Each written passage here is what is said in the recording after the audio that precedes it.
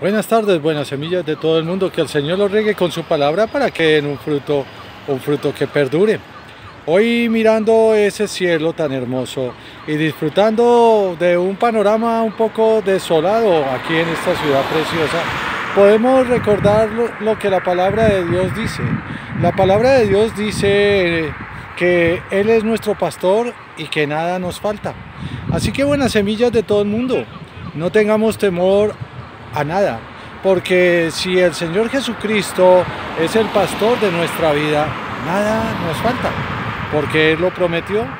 Y recuerden lo que siempre recordamos aquí, desde este lugar. Nosotros somos los hijos del Señor, somos la niña de sus ojos y Él ha prometido que no nos dejará ni nos desamparará, porque no duerme el que cuida a Israel. Pongan su nombre, no duerme el que cuida a Jorge, a Miguel, a Sara, a Mercedes, a Amparo, a Ruby, a Delia, a Tina, a todos los que confían en el Señor.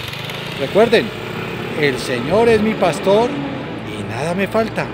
No duerme el que cuida a Israel, porque el Dios, el Todopoderoso, el Creador de los cielos y de la tierra no es menos que tu Padre y mi Padre.